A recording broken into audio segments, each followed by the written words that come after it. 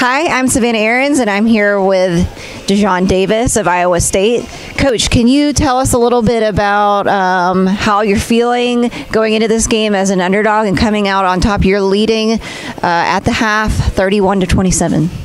Uh, coming in this game as an underdog, I kind of felt that. I mean, it's club, so we don't actually get to see a lot of the team. So I felt like we really was an underdog, especially since we were in the same situation, being a six seed last year, and we beat Virginia Tech, the reigning champions, that previous year before that. So I felt happy about it that way to give the guys some more encouragement to play hard and actually fight.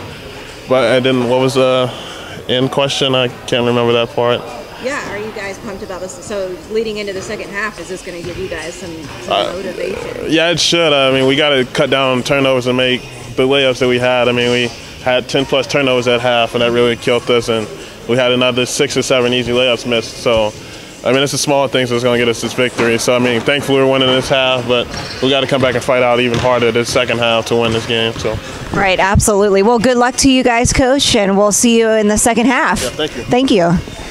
This is Savannah Aarons with the Cold Sports Network, and we are here in game number two at halftime with Iowa State leading 31 to 27.